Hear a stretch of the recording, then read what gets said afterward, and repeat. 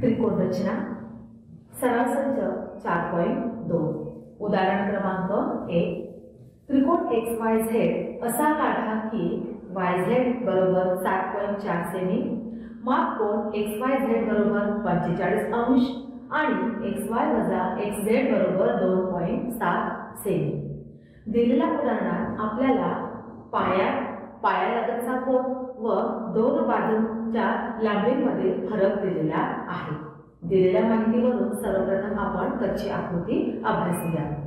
बघा सात पॉईंट चार सेमी लांबीचा रेषाखंड वायझेड काढूया.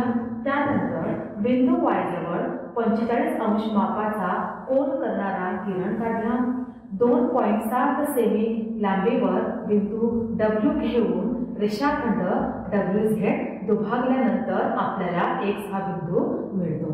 आता एक्स वाय बरोबर एक्स डब्ल्यू अधिक वाय डब्ल्यू एक्स वाय बरोबर एक्स डब्ल्यू अधिक वाय डब्ल्यूची किंमत आपल्याला दिलेली आहे दोन पॉईंट सात. म्हणून एक्स वाय वजा एक्स डब्ल्यू बरोबर दोन पॉईंट सात. याला आपण नंबर एक देऊया. उदाहरणामध्ये आपल्याला दिलेले आहे एक्स वाय वजा एक्स झेड बरोबर दोन पॉईंट सात. याला आपण नंबर दोन देऊया. एक व दोन वरून दोन्ही समीकरणांची उजवी बाजू सारखी आहे म्हणून त्यांची डावी बाजू सारखी येईल म्हणून एक्स वाय वजा एक्स डब्ल्यू बरोबर एक्स वाय वजा एक्स झेड एक्स वाय दोन्ही बाजूला कॅन्सल होईल आणि म्हणून एक्स डब्ल्यू बरोबर एक्स चला तर मग कच्च्या आकृतीवरनं आपण त्रिकोण एक्स वाय झेडची रचना करूया. सात पॉईंट चार सेमी लांबीचा रेषाखंड वाय झेड काढला. वाय झेड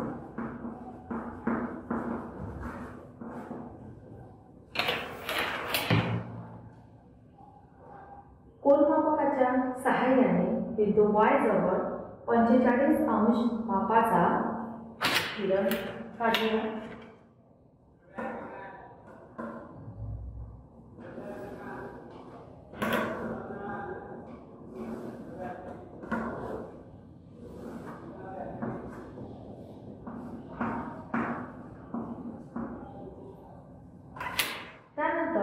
कंपासमध्ये दोन पॉईंट सात सेंटीमीटर अंतर घेऊया.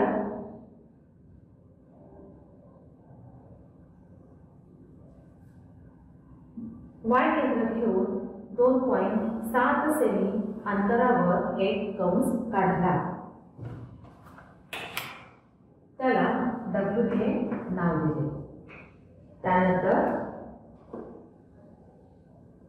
रेषाखंड डब्ल्यू झेड काढला. आता बघा आपल्याला हा डब्ल्यू झेड रेषाखंड दुभागायचा आहे. म्हणून डब्ल्यू बिंदूपासून निम्म्यापेक्षा जास्त अंतर कंपासमध्ये घेतले. डब्ल्यू केंद्र घेऊन डब्ल्यू झेडच्या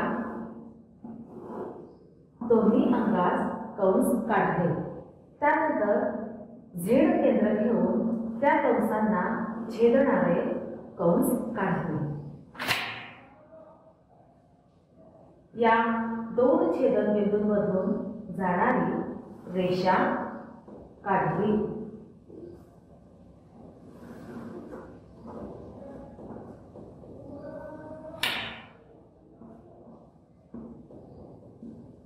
छेदनबिंदूला एक्स हे नाव दिले.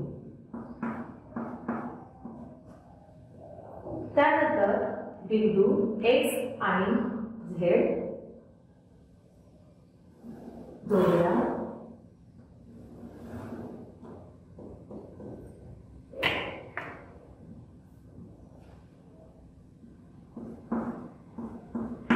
अशा रीतीने त्रिकोण एक्स वाय झेडची रचना आपण केली. आकृतीमध्ये बिंदू एक्स हा रेषाखंड डब्ल्यू झेडच्या लंबदुभाजकावर आहे. म्हणून बिंदू एक्स हा बिंदू डब्ल्यू आणि बिंदू झेडपासून समदूर